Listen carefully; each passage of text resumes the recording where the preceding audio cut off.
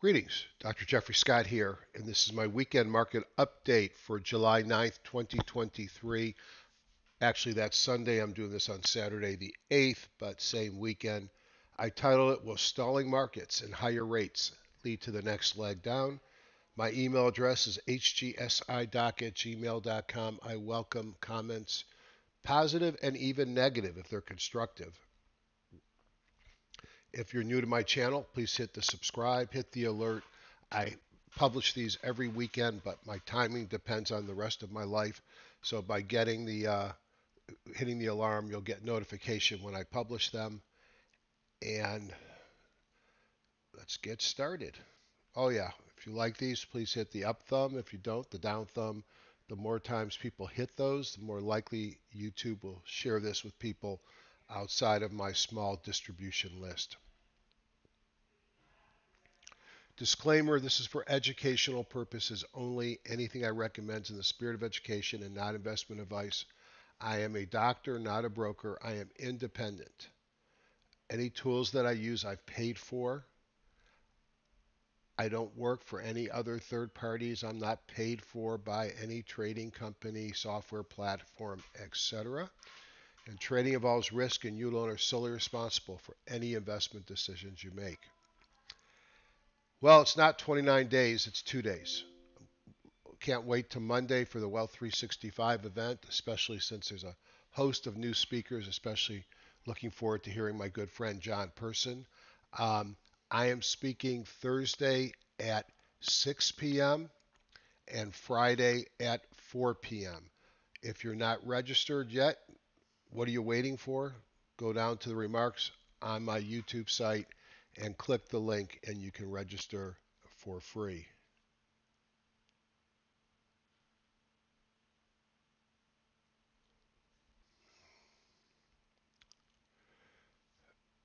If you like these videos, um, I do short ones Monday through Friday at stocksanddocs.com. Um, I will miss them occasionally when I'm on the road. Um, but um, I really enjoy doing them. I cut to the chase and do them in five to ten minutes. Major markets tell the story. Now, I don't normally pop this thing up in the middle to clutter things up,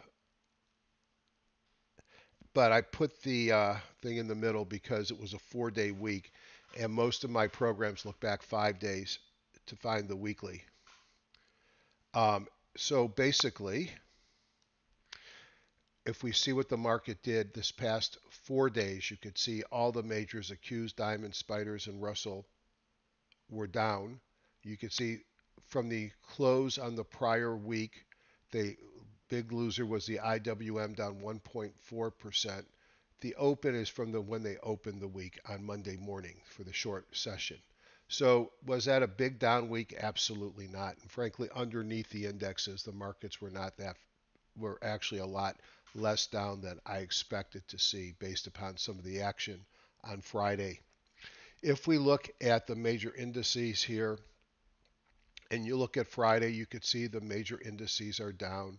Um, the NYSE was actually up 0.20 on Friday, and the Russell, the broad-based Russell, was up 1.1%. So frankly, if you take away that 1.1%, the Russell really was down the most on the week, but recovered much of it going into the weekend. Interestingly, we're still in a bull market on spiders, NASDAQ, and the Qs. We came out of it on the diamond and the NYSE, but look how close they are. This is off the October 13th low, and the Russell's down, excuse me, is up 13.7%. So, in, in spite of everybody talking doom and gloom and how the bear market is not over yet, you can make money in bear market rallies or new bull runs, and sometimes you don't know until hindsight what you're in. The S&P sectors just show you the big moves off the lows on everything except healthcare has been a laggard, as has um, utilities, two of the more defensive um, uh, sectors in the market.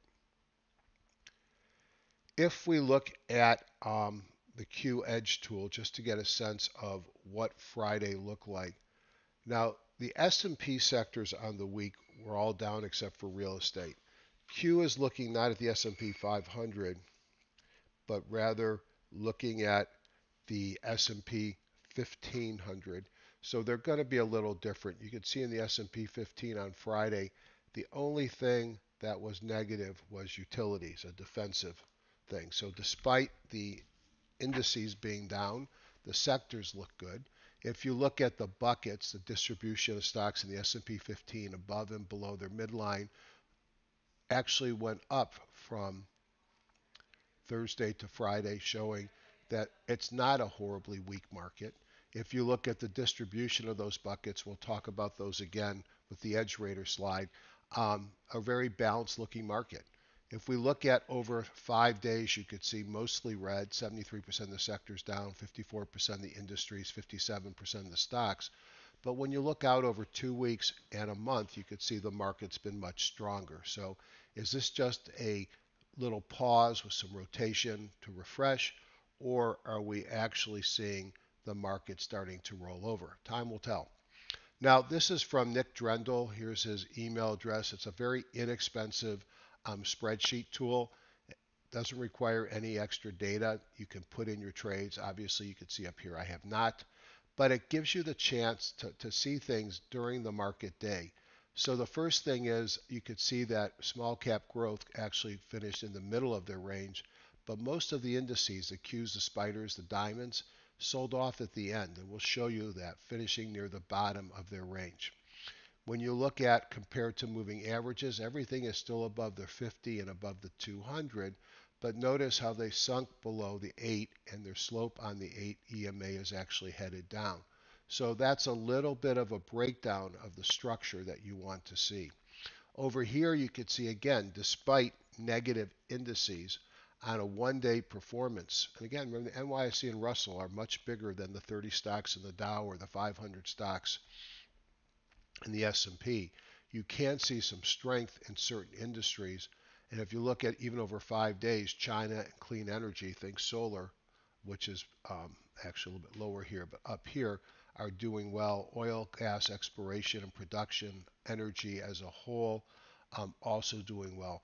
This is not everything. This is a nice list of industry groups. I'd love to add more if that was possible.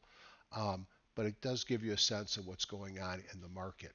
Now, I think the uh, Achilles heel is rates and the Fed, and you could see, you know, a couple things to show you. White is the rates. The left is the 10 year, the right is the 30 year. And notice that as rates go up to a certain point, the markets go up with them. So rising rates does not mean the market is going to tank. But rising rates ultimately can get to a point that they hurt the market or the rates go straight up is bad for the market. So we picked up on the 10 year, we picked up on the 30 year, stuttered a little bit on yellow on the spiders, but really didn't lose much on the um, on the markets. Is there a recession in the near future? There was a lot of talk about that this week, and I think J.P. Morgan came out and said later in the uh, year, um, perhaps. Now, the argument for is each time the 10.2 and the 10.3 yield inverts gets below the zero line, meaning the short-term rates are actually higher than the long-term rates, um, you expect a recession. And it's when the rates correct and go back above the yield curve or the yield inversion line that that recession occurs, the recession being the great bars. So both the 10.2 and the 10.3 are deeply inverted, and that is you know, a pretty predictable signal for a recession. Now, we don't know when it's going to come, and there's no rule that says the markets can't go up further until it comes. So I look here at the credit tightness, and you could see that credit tightness is not a problem, and that's something that does occur with recession. So that's a tip off that we don't see. And if I look at the Philadelphia Fed diffusion index, every time it's dropped below negative 0.2, it's had a recession either during or after. Well, we dropped below negative 0.2 and now we're improved beyond that. So the question is, is that a positive or a negative sign? So I do think it's still a question. I don't want to sound like I know for sure, because who would know? I mean, remember, everything we look at on a stock chart, every indicator, none of them are a crystal ball. There's no genie in a lamp that I'm going to rub on that's going to tell me what's going to go. You have to look at a constellation of signals and try and give yourself an edge. And you could be right, you could be wrong, but we're all looking at the same price and volume and trying to figure out what's going to happen.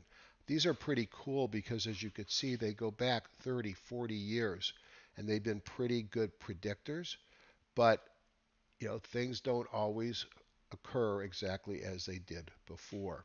And why does this matter? Because typically in a recession, bear markets can get much lower, and that would be a bad thing for our markets. Breadth, no surprise. You could see just a little turn down on the stocks above the 200, stocks above the 40. And boy, this thing is like money. Um, every time this T2121, which is a 13 week new high, new low ratio, gets anywhere close to this white line, the market's extended and you get a short term snapback. Well, we did it again. Now, it only is meaningful at extremes. And there's extremes where it always turns down, and then there's periods of time before that. So I monitor this and I know when I'm getting towards that extreme. Well, we're off the extreme. When we're getting to this point where the number of new highs versus new lows is a preponderance of new lows, we also snap back and we go higher. Right now, we're back off a risk and we're more neutral as the breath eased a bit. Here's those buckets and edge rater. We already talked about the right-hand pie slices, which are the stocks above or below the midline of the S&P 1500, neutral. Um, notice the number of stocks above or below the bands. When you see these start to get to 20 or 30 percent, you've got an inevitable reversal coming. And it just gives you a sense uh, are we more bullish or bearish? And I'd say we're neutral to slightly bullish on the buckets. The Hindenburg omens fire at times where markets are at risk of rolling over. The first signal is interesting, but you need a second signal within 30 days to confirm it. If you see a Hindenburg omen, then you probably ought to be concerned about the markets. Um, if you look back, and I've showed it before in 2021, late in the year, we started to see Hindenburg omens firing on the NASDAQ. Now, the NASDAQ is not the traditional market that we look for for the Hindenburg omen. Typically, we look for it on the NYSE, but the makeup is so different with the NASDAQ being tech heavy and not a lot of banks and energy that I think it's valid to look at on both. Well, you could see we had a couple of them fire within the last few weeks on the NASDAQ. So that's one reason to be a little bit concerned, in my opinion. Now, on the NYSE and on the NASDAQ, you know, the number of new highs has dropped the last couple of days. And the number of new lows, certainly on the NYSE, they don't have any, or very few. And it's actually improved from where it was on the um, NASDAQ. That's a positive. On Thursday, which was a, also a down day in the market, we had a str- uh, what, what I consider to be a very rare strong Phoenix signal on the NYSE. And the Phoenix signal is another one of these internals that we use, taught to us by Ian Woodward 20 plus years ago. And when you see a phoenix, especially in an uptrend, it should tell you to be concerned about the market, that the market is at risk of rolling over. Um, it doesn't tell you anything you don't know already, but it's another edge. So the Phoenix, a couple of Hindenburgs, it's enough to have me more concerned. Now, the indices were down on the week, except for the broader ones, and you could see if you look at ERG, EPS rank plus relative strength rank plus group rank, and you look at ERG of stocks versus their return, you can see the majority of stocks were above zero. And but most of the above zero was in the junk. And in fact, if you look at relative strength, stocks with the worst relative strength outperformed. Market rotation into laggards, junk off the bottom, whatever it is, it's not leaders. Now, this week is a, a massive week in news. On the left, you could see that just at the time that I went to Market Watch and checked and took this down, there are six Fed speakers on the week. You can also see we got a little bit of things that matter, CPIs, PPIs, beige book, consumer sentiment, and the like. So there is a lot of things going to happen this week that could move the market. So something to be, again, concerned about. Um, doesn't mean the market's going down. And as we saw this week, one day, I think Thursday, the ADP suggests that the employment's going to be hot and the market sells off hard. And then the next day, employment, monthly unemployment report comes out or monthly employment, and it wasn't hot, and the market recovered some at least early. So these things are major moving events.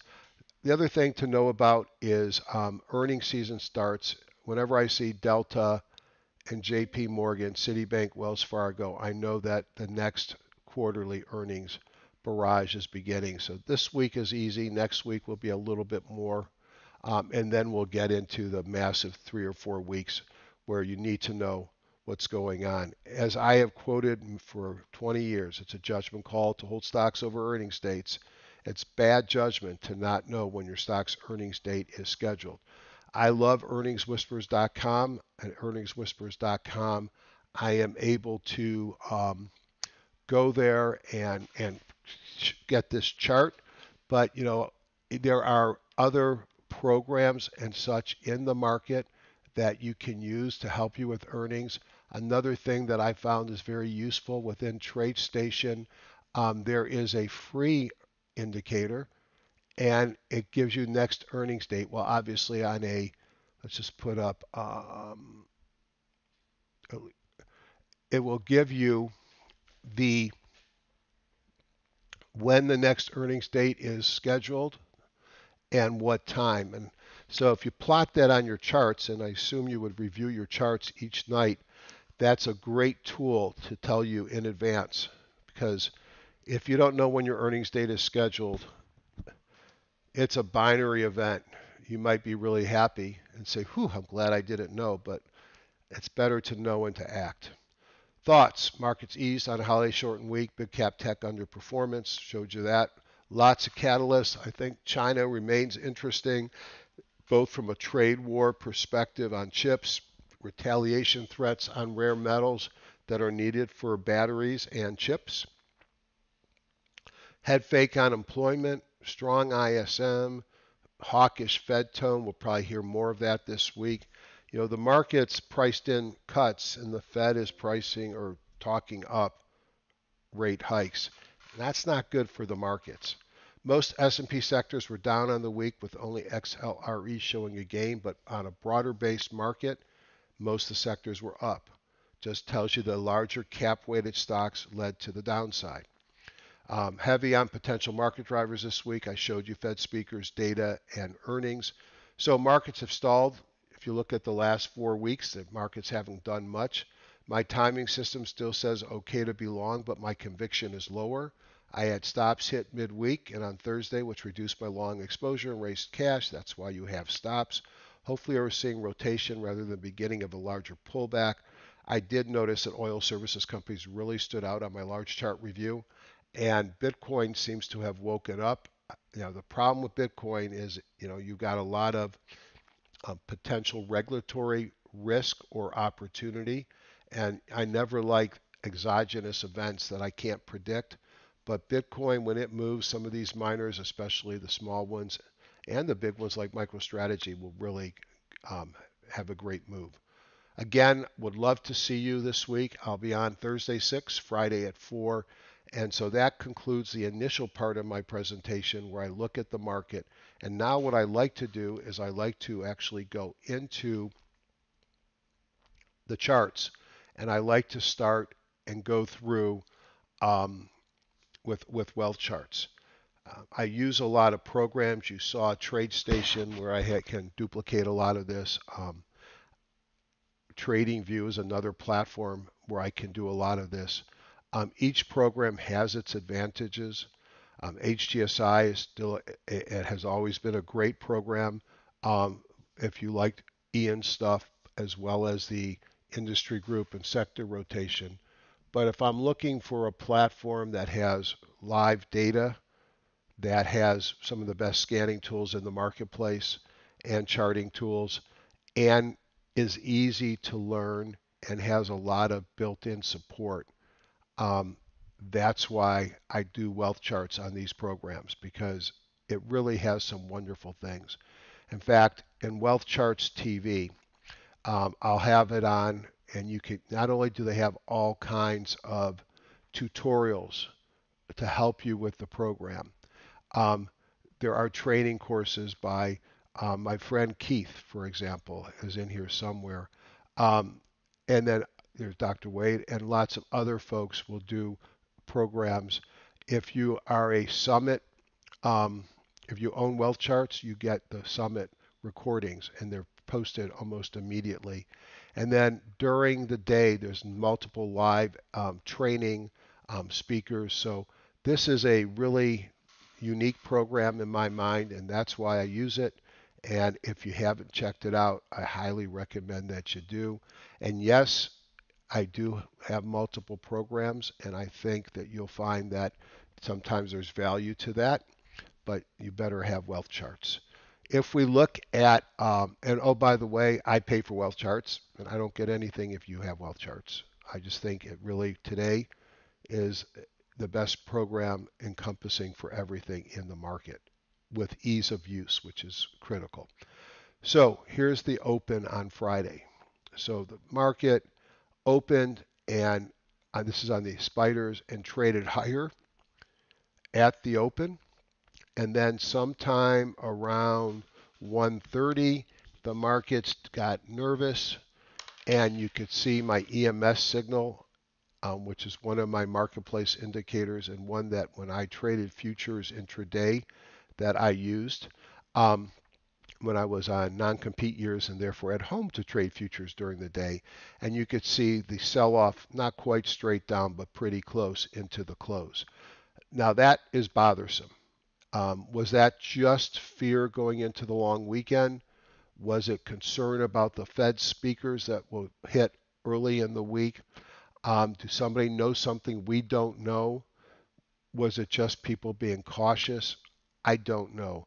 But I think you have to be concerned on how the market closed on the week. So the S&P, as you could see here, has pretty much a shooting star with a really long talking, topping tail. This tells me it opened and it closed at the same place. So it opened.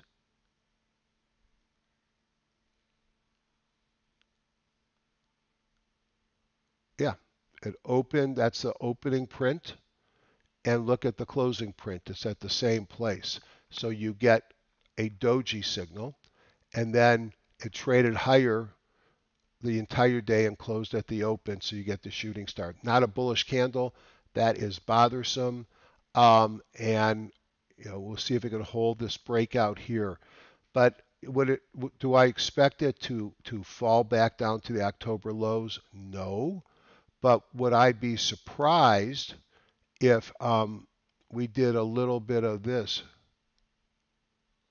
and then traded down and retested on this line here, the 420? That would not surprise me. That's only four, four and a half percent away. Certainly would not be considered a significant, horrible move. So I think we have some short-term risk in the markets. I think the spider is one of them. The Qs, you know, the Q's not quite as bad. The spiders were down just a quarter percent. It's just the shape of the candle that worries me. This was down 0.33, similar location above the breakout point, topping tails. The diamond's a little bit more bothersome. Um, you know, I've been looking at this as a trading range, which they'd be nice to see them break above. We broke down below the point here on the flag that I had written for my breakout failed to get above it, sitting right on the 50.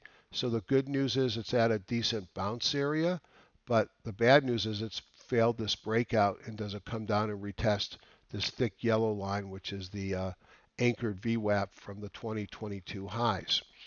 The other thing that I thought was in a trading range is the, the IWM, and it continues to, to struggle to get above that anchored VWAP off the 2022 highs for the Russell. You can see that what's different here is you got a blue candle instead of the up 1% on Friday compared to the red candles. You know, you'd expect the VIX to be giving you, you know, it's all over signals, and it's not. The VIX did trade up, up into its 50 period moving average, and then even though it traded higher on Friday, it closed down 3.95%. And the other thing that weakened, and I guess it weakened because of the employment report, was the dollar.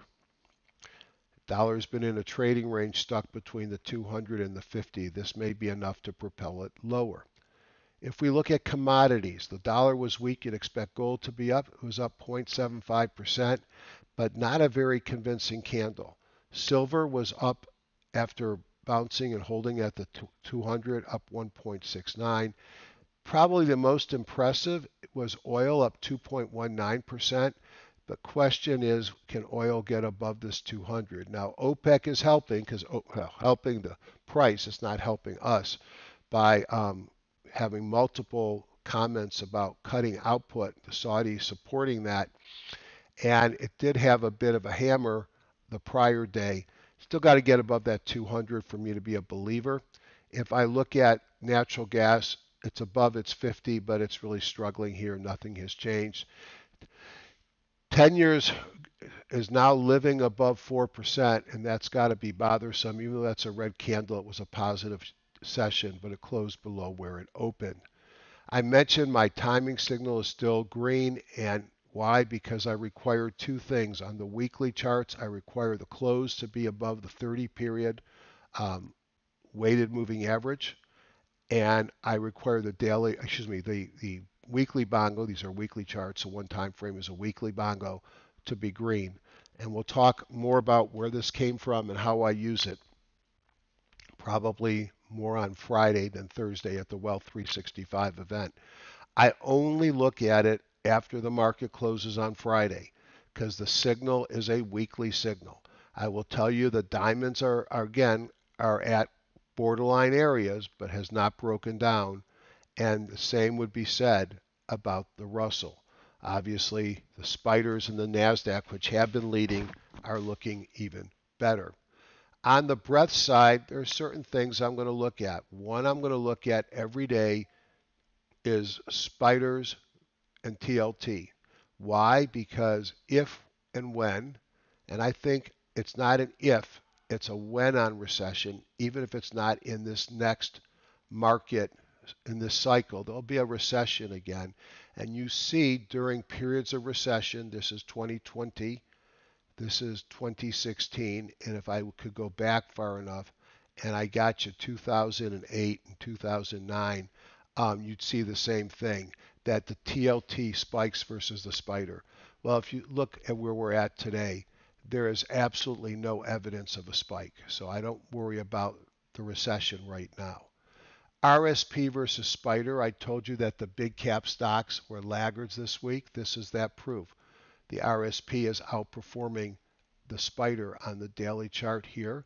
If we look at the QQEs, not really any different than the Qs, but the angle of descent has changed, so maybe that's broadening out evidence there. This is an hourly chart of the more general XSD versus the SMH broadening out of the semis.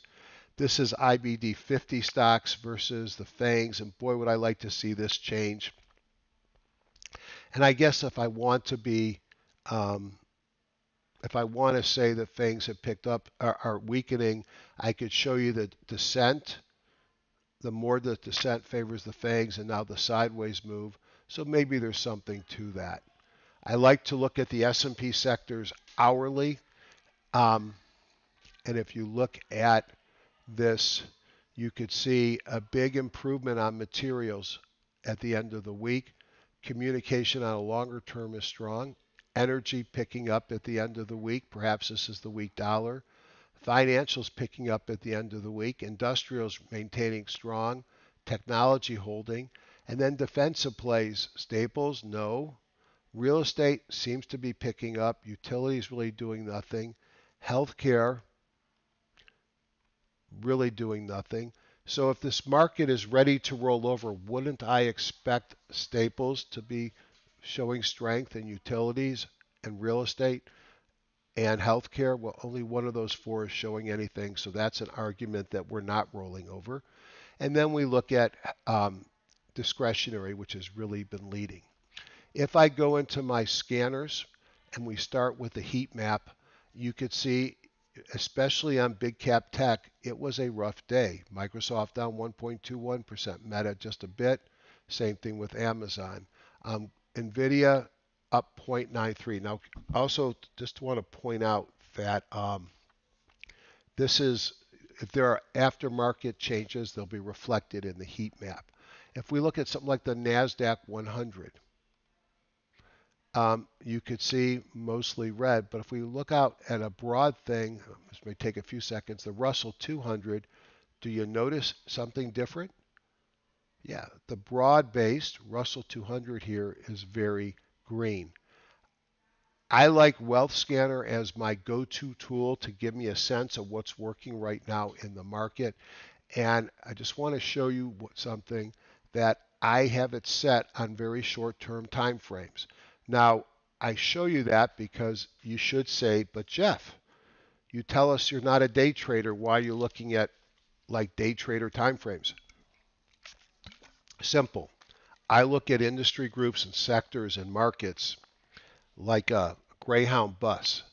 Once they get moving, they move in the same direction for a long time. When they want to stop, they ha- them longer to stop. So by design or by not design, just by reality, these things move slower. So I want to look at them at shorter time frames to pick up a change in movement instead of relying on daily and weekly, which will take too long. So first thing I see is that um, nothing's above 800. Put a check in the markets weekend over, compared to the last couple weeks. I think two weeks ago we had everything was above 800 on the top sheet. In fact, we're all the way down to 395 here. So this is clearly change and weakening of the market. Insurance with a flag, with a fire here, is leading. And I saw a lot, especially the reinsurance plays looked interesting. I mentioned earlier that Bannock oil sectors, um, that OIH, especially the services side, looked strong. When bonds are leading, that's never good for the market, or short the bonds are up there. IYR real estate, gasoline, the dollar, oil producers, retail. Retail was about 800 a week ago. So this is clear weakening here, weakening here, and insurance and energy are the things that look interesting. Now, I am a top-down investor, and you know the beauty of this program is I'm still talking, so I'm much slower, but I've define what I think the markets are doing, and frankly, I would be very careful entering new positions until I sense what's happening, unless you are a very short term trader. I don't sense that this market is rolling over and I need to go short everything, but I did, partly through stops, reduce the number of my positions and raise cash this week because the market has weakened. And maybe tomorrow on for Tuesday, I say, up, oh, it's time to be short. I don't know that. I don't have that crystal ball, but I have enough reduction in my conviction, even though my timing model still is long. So, from a long term, from a top down investor, I am more looking for the market to go higher than go lower, but without much conviction. If I want to look at the where the market is working, I'm thinking away from the big caps into the more um, to, to, the stocks that make up and lead in the in the non-cap weighted index. Um, and then I'm looking here at insurance and I'm looking at energy, especially services companies. Now, my CAT scanner tool, which is only available during um, the Wealth 365 events and um, when I do special events for Rob and the Wealth Charts family, um, this is the way that I make my life easy. If you have this tool and you, you're thinking to yourself, but Jeff, I don't have your scans up at the top. Um, I will remedy that after the Wealth 365 when I'm going to put out new workspaces um, for anybody that has my tools. Now, if you think I just said something mean if you don't have my tools, well, the workspaces aren't going to help you because these require my tools. Um, the things that are not with my tools, I'm always happy to share. And one of the beautiful things about the Wealth 365 and the Wealth Charts community is the ability just by creating a link for you to have the same on your screen as I have mine. What the caveat is you have to actually own the, the marketplace stuff that various folks will sell you to get access to them. So let's just look at all symbols. And I just want to go through my four or five favorite scans. And we're going to start with the first one is a pullback in an uptrend. So pullback in an uptrend requires to meet my price and volume. I like to trade options, so I'm only asking that they have options, which sometimes is just a, also a nice um, guarantee of liquidity. Um, stocks that don't have options are going to be less liquid, typically. I have to have at least one bullish dot. I have a dot for volume, a dot for gap, a dot for breakouts, and a dot for momentum. Very boring names. The more dots, the more excited I get because it tells me something is happening and it draws my eyes to the chart. That's my edge. I don't look at a thousand stocks every night. I look at five to ten and I find things that are actually moving. I'm looking for the pullback, so the bongo had to reverse direction within two weeks. The bongo is my trending indicator. So since this is a daily chart, within the last two weeks, the daily trend had to go from a short-term bearish to bullish. And I require both the daily bongo to be bullish and the weekly bongo to be bullish. So I'm going to get stocks that look like BABA. So let's look at BABA. So let's go over what I just said. I require the long-term trend to be bullish. Well, I'm just looking at the weekly trend and it ain't great. And one could certainly laugh at this being an uptrend, but my weekly bongo is green. Okay, it's only recently turned green. I expect require the daily bongo to have gone red and have reverted back to green within the last nine bars. My four dots tell me I had a gap on volume. I broke out of recent highs and I have momentum. This is a PSAR reversal. Three time frame bongos are green. Relative strength and OBV picked up. I think you have to be aware of all the China concerns and issues but that is an interesting looking chart to me. And the reason why I like this chart so much, okay, is if I right click and let's bring up the data window. Where'd it go? Try that again. Okay, let's pin it.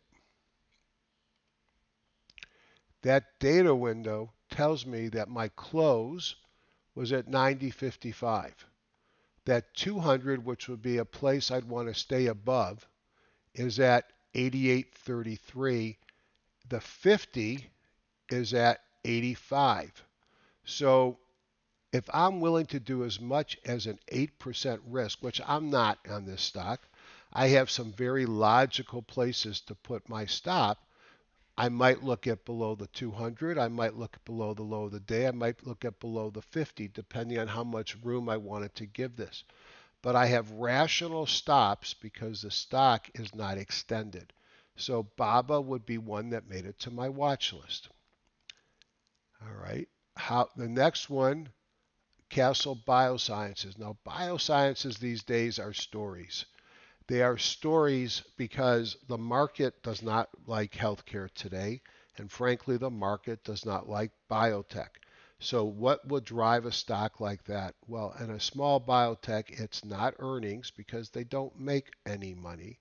When I see this pattern, it tells me that there was news. Do they have positive data? Do they have an approval? Do they get a bid to take over? So they had raises in um, from the brokers. That's always good. So I bet somewhere in here is news.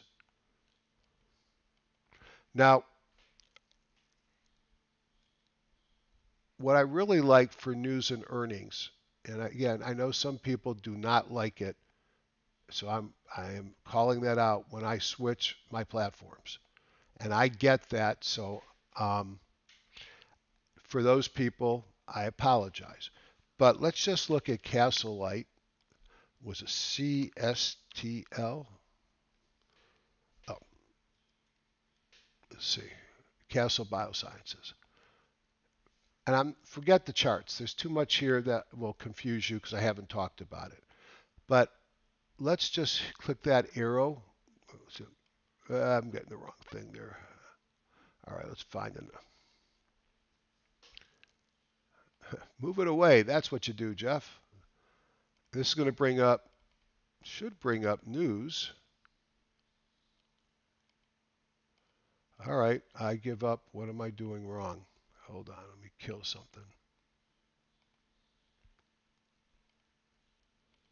Let me try another one, CSTL. If it doesn't work, I'm going to go back to to TradeStation and just say I shouldn't be looking at too many things. But this should open up the news. There we go. So if I want to see more news, it's going to throw it here. Ah, jumps after reversal in coverage policy. So now Medicare is covering their test. Well, that's actually a really good piece of information to know. That's something that I could build upon. So that would tell me that this might be something to look at. Um, if you have a diagnostic test and Medicare goes from not covering it to covering it, you'll have a lot of back tests that you can bill for and the market will start to use your test more. So that's pretty cool. I should have known that. Now, the other thing I like about TradingView is if you hit the E or the you, will pull up the financials. It tells you about the company, dermatologic cancer company, provision of genomic information for physicians and patients. Uh, okay, so it tells me what to do with the skin cancer. I could look at projections of earnings. The stock doesn't make any money reported versus estimate. I can go out and look at the next several quarters. I can look at revenue growth over time. It's not giving me future revenue. That's probably because they don't report it. You can also actually, um, and we actually created an indicator for that, but that's you know for a different discussion. But we have an indicator that my uh, I actually call my partner in this product, Praveen, uh, created um, that will pop up an indicator that shows you earnings and revenue over time just to give you a chance on growth and some other fundamentals. But we'll talk about that at another webinar. So what did we learn? We learned that this is something that's interesting. So why did it get upgrades to $37 and $32? Um, because Medicare is covering their test. I, I now recognize who they are. Um, that's an interesting one that I maybe have to go back and revisit. Um, AMC networks, hard for me to believe movie theaters, but you know, you look at what's working right now. Hotels have been working, airlines are working, cruise ships are working, so maybe people are starting to go to movies. So again, not my favorite stock. Got to get above the 50. And then automobile parts. I saw that on my top down review. AXL breaking out above the 200. Relative strength and OB look good. And again, notice the pattern. Weekly bongo's green, and we had the recent pullback on the daily. This is called bottoms up, not tops down. Now, to me, it's a blend because if I was convinced the market was going lower, I wouldn't be looking at anything to the long side. The point of my scan is it's bringing up stocks that look like things that I want to look at. DXC Technology, a little bit better of an uptrend, has cleared the moving averages. On volume, it's got breakout momentum, relative strength and OBV look good, and it's a lot easier to convince you that it's on a longer term uptrend. Again, it stubbed its toes. So I've required a specific pattern. Um, and we can see that pattern over and over. Here's OII. This is a oil services stock, and um, we're going to look at these before we go. But oil services, um, they all look like this. Schlumberger, Halliburton stocks were in a long-term downtrend. I think last week I may have mentioned some they look better as well, but boy, they have big breakouts on Friday. Look at relative strength OBV, the dots coming out of a squeeze. OII is interesting. In fact, here's the OIH, the ETF for the sector, and you could see oil services look interesting. Second scan here that I like in order of my attractiveness is bottom poppers. And these are stocks that are going to be weekly is going to be red because they've been selling off, but their daily bongo's gone green and they've got some momentum signals. So if you look at something like JD, am I ready to buy this? No. But a run from here to the 200 is pretty significant. Notice the daily bongo turned green. It had three dots, volume breakout, and momentum. KWEB, another Asian stock, China ETF. Um, this one did Marathon Oil, um, big volume, the three dots, relative strength, and OBV. So I will find stocks on this list. A lot of these are energy stocks that have been beaten up that look like energy is about to reverse. That's ConocoPhillips, Fang pays a big dividend. Um, now, on all of these, I worry about that 200 overhead and how far they're going to go. But energy's been built beat, beat up for some period of time, and this is an ERX um, energy ETF. So you notice on these bottom poppers, which are stocks that are beaten up, that are starting to move and have lots of my momentum signals and breakout signals coming in. Energy is a big player there. Okay. How about runaway stocks? I call them rockets. Now, you'll see stocks show up on multiple scans. PLTK, Playtika Holdings, this is to me as a rocket. Can I buy this? Well, it's kind of extended. Um, look how far it is. You know, it's 30%, 25% from its 200-day moving average. The high-low jump is approaching 100. So I'm nervous it's getting extended, but but what a beautiful pattern. Pull back to the 17, broke out. Don't like that it closed below with a red candle, but it was up 4% on the day. Three green dots, relative strength and OBV. Bausch Health companies, kind of all over the place here. Um, but came down to the moving averages and bounced with relative strength and OBV. Here's a airline that was beaten up, Hawaiian Air, that's breaking out. Um, you know, you look at this one, and um, this one looks a lot easier to get into than Delta right now, but do you want to be in laggards? Now, I want to call out that the high jump is 100, but I don't care. Why? Because this stock is below the 200 and crossing above. So yes, short term, it's a little extended because it's had a big move up, but you're not extended if you're right at the 200 day moving average. So sometimes you have to look at the chart and make your opinion. Um, so these are stocks that are starting to run. Um, see anything else popped up from what I looked at over the weekend. You know, DraftKings is one that you know I we saw this coming, and it's just a what a beautiful run. Is this buyable up here?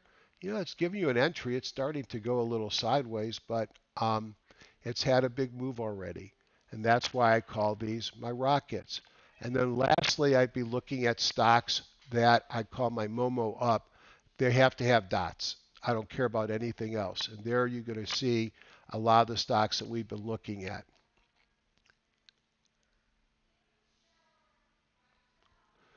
Helix is another one of these oil services companies. This there's something going on here.